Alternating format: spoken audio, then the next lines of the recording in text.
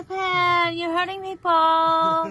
I think it's great because there used to be a lot of homophobia in the rap world. I'm sure there still is to a certain extent, but it seems like people are feeling more and more comfortable about their sexuality, which is great.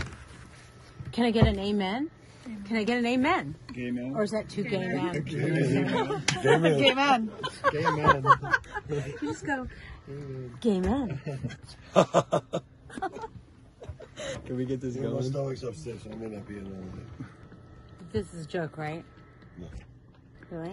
Yeah, You're no, not, I'm here though. you're not work dodging? You're going to the master bedroom where I wanted to go? The master shitter. I told you to stop eating all those hash edibles. It's not. It's not edible. It's Those will make you poop, from right? mushrooms.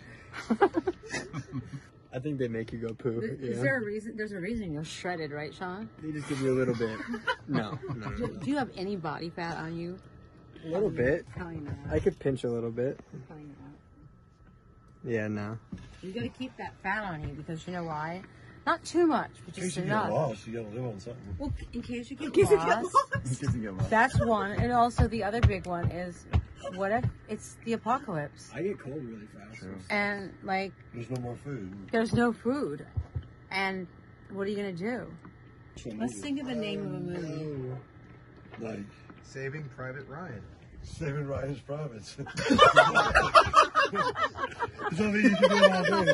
Saving Ryan's privates. That's good.